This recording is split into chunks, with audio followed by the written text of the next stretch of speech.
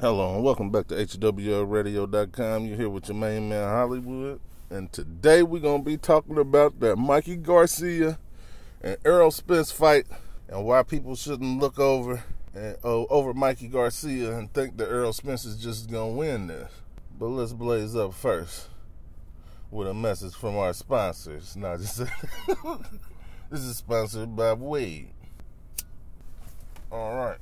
So, I want everybody out there to not act like Deontay Wilder ain't stronger, well, harder puncher than Tyson Fury. And we seen what happened that fight. I'm not comparing Errol Spence to Deontay Wilder because Deontay Wilder, he's a person that'll look for one punch. Errol Spence is a person that'll break you down. And I mean, keep coming in for the kill. And the good thing about this fight is I was looking at the face off, and both of these guys have the confidence and the beliefs that they are the best, which does set for a great fight. Number two, both of them are dogs. Because you know how in some fights somebody gonna get hit by a big punch and then they curl their tail and then they run and duck and hide.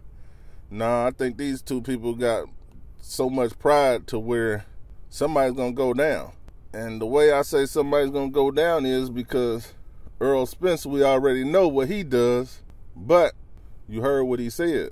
He said he got dog in him. So when Mikey Garcia, let's say Mikey Garcia takes him to school like Tyson Fury took Deontay Wilder to school. Earl Spence is saying you gonna have to get me the fuck up out of here, just like an AB, Adrian Broner. That's that's the number one thing about Adrian Broner could go anywhere with me because that nigga go fight to the death. And anybody like that, that's who you want to ride, go out with you, and you, know, go party with and all that shit. Because guess what? If anything happens, you know one thing, y'all gonna look good coming. and if y'all get in a motherfucking fight, a nigga ain't gonna run and leave you. So that's a win-win situation. Y'all can come there with all the money, and you motherfuckers can leave like damn boy. They some warriors. They fighting. But back to the thing at hand. Mikey Garcia is like a, a Mayweather. Let's not act like Mikey Garcia ain't like Mayweather and that he could technically take Earl Spence to school. The only thing is that when Earl Spence sparred Mayweather, which was sparring, was not a, bo- a real boxing match because people gonna be more defensive in a boxing match. But when he did, he gave Mayweather some superb work. So Will and, and Mayweather kicked him out the gym and then he brought him back. So in the fight, if this happens, Mikey Garcia can't kick him out the gym and then bring him back to the fight. I mean, he can't kick him out the ring and bring him back to the fight. So therefore, that's the part that I'm worried about on Mikey Garcia's behalf because a skilled fighter, you can put him in that motherfucker. Well, I don't care well, I mean, weight will eventually take over because you know, like in on Chinese movies, people be hitting super super big motherfuckers, got nothing happening. Yeah, now a situation like that. But you know, the weight classes that he stepped up, like man, I done seen motherfucking little people knock out big people, and shit ain't so surprising to me no more. Like a nigga that don't think they could lose, like Earl Spence, Mikey Garcia might surprise him because he's a technical fighter. So that means when you punch perfectly, your punch has a little bit more pop than a motherfucking strong punch. Just a little bit more. Like it could have the same effect. Like that could balance out the strengths because you're getting hit flushed, perfect, but you just hit hard. That'll balance everything out. But I see, and I think that this could be a draw. This could be this could this, this could be just the beginning chapter of Earl Spence versus Garcia. And the reason why I say that is because this ain't gonna be no boring fight. It ain't gonna be no boring fight. And that's gonna surprise a lot of people and gonna make the fight better because a lot of people actually think Errol Spence is going to weight bully Mikey Garcia, but they have not seen a technical fighter like Mikey Garcia said. I'm a little bit better in footwork. I'm a little bit better. I'm a little bit better in everything, which he did not lie. Mikey Garcia is a little bit better in everything. The only difference with Earl Spence, the good thing Earl Spence got going for him is that he's he got that die hard, but that die hard in a fight where you got nothing coming, that definitely kill you. Now in a fight that you know you got to swing to win, and you know some people don't swing at all, and that's why they lose. Earl Spence ain't like the kind of person that'll do that.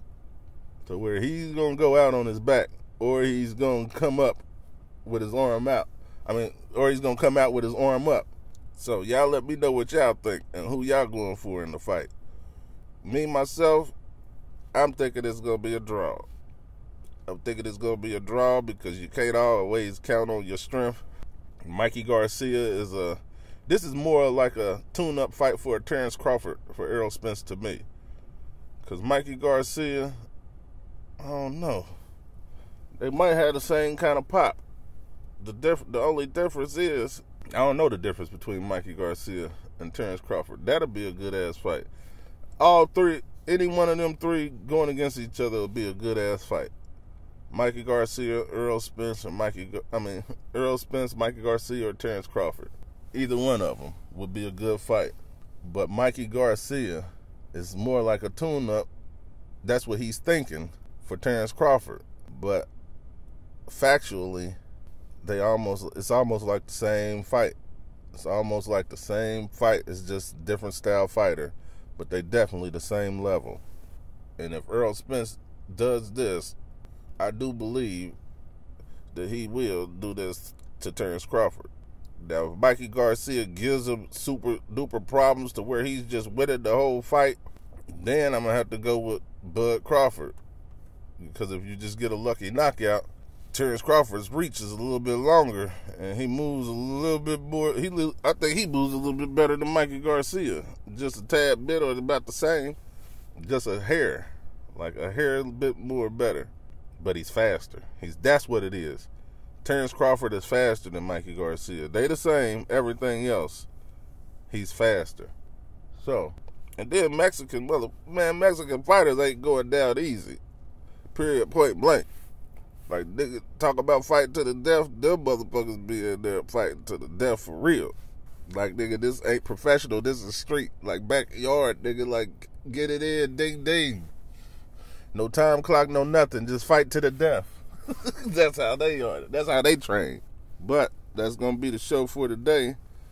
So let me know who you going for in the fight. And make sure you go over to hwlradio.com, download the radio station app. Make sure you check out the sponsors page.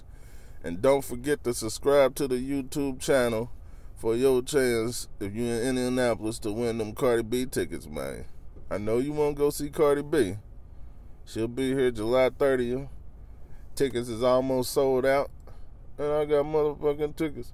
I got tickets for sale. I got tickets for sale. I got tickets for sale. I got tickets for sale. I mean, well, they ain't for sale. They for to give away, but you know, the drip for sale. And I'm out.